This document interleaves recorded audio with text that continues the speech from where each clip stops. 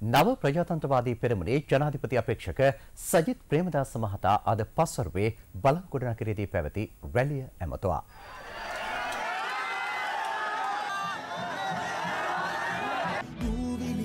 රැලියට පැමිණි සජිත් ප්‍රේමදාස මහතා රැස්ව සිටි පිරිස පිළිගත් අයුරු මේ. බැඳිරට රැකුණා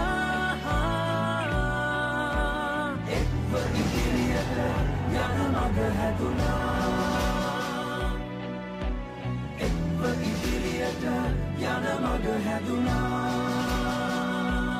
ඉඹුල්පේ ප්‍රාදේශය සභාවේ නිදහස් පක්ෂ මන්ත්‍රී සුරංග මැණික් මහතා මෙහිදී සජිත් ප්‍රේමදාස මහතාට සහය පළ කළා. දාහත්වනිදා ඉඳලා මේ රටේ තීන්දුව තීරණ ගන්නේ මේ රටේ සමස්ත ජනතාවගේ මතයට අනුවයි කියන එක මම මේ අවස්ථාවේ කියන්න කැමතියි. ඔය එක එක්කෙනා ඡන්දකාරට ඇවිල්ලා තමුන්නාන්සෙලාට වෙන සීනි බෝල ගිලින්න එපා.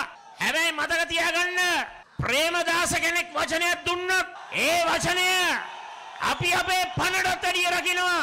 ඒ නිසා මැලික් කර්මාන්තයේ නියැලී සිටින තේ කර්මාන්තයේ නියැලී සිටින රබර් කර්මාන්තයේ නියැලී සිටින අපේ රුවන්පුර බල ප්‍රදේශයේ ඔබ සියලු දෙනාටම මම හදවතින්ම පොරොන්දුවක් වෙනවා මේ රටේ ජනාධිපතිවරයා බවට තමුන්නාන්සේලා මාව පත් කරනකොට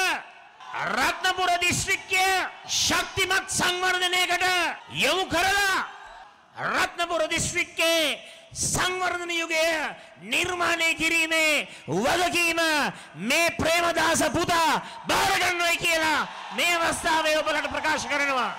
මේ අතර නව ප්‍රධාන්ත්‍රවාදී පෙරමුණේ ජනාධිපති අපේක්ෂක සජි ප්‍රේමදාස මහතා අද දහවල් බදුල්ල දිස්ත්‍රික්කයේ ව්‍යාපාරික ප්‍රජාව හමු වුණා.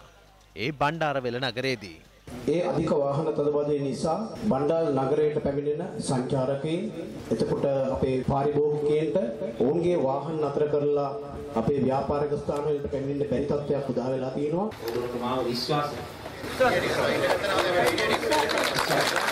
මමම සටහන් කරගන්න. මගේ ලේකම්වරු නෙවෙයි. මේකෙන් මම මේ කියන දේවල් ෂණිකවම සතියක් ඇතුළත කරනවා ජනාධිපතිවරයා බවට පත් වුණා. දින 7න් අපට වේමිල රුපියල් 50ට එහා පැත්තේ මිලක් ලබා දෙන හැටියට තමත් ගෞරවයෙන් මේ අවස්ථාවේදී මම යෝජනා කරනවා. සහතික මිල අපි නිත්‍යානුකූල කරන්නට යනවා. ඒ කියන්නේ පාර්ලිමේන්තුවේ අන 50 හරහා.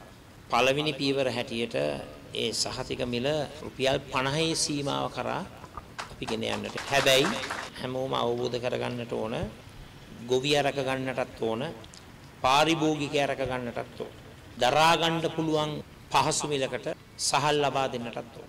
වී ගොවියාට ලබා දෙන ඕර සහනාධාරය ලබා දෙනවා වගේම අතුරු භෝග වගා කරන එළවලු පළතුරු භෝග වගා කරන ගොවියාටත් අපි ඒ සහනයක් ලබා දෙන්නට ඕන. අපි වී ගොවියාගේ පොහොර සහනාධාරය වගේම අතුරු භෝග වගාව සහ වෙනත් භෝග වගා කරන අයටත් ඒ පොහොර සහනාධාරය දීර්ඝ කරන්නට බලාපොරොත්තු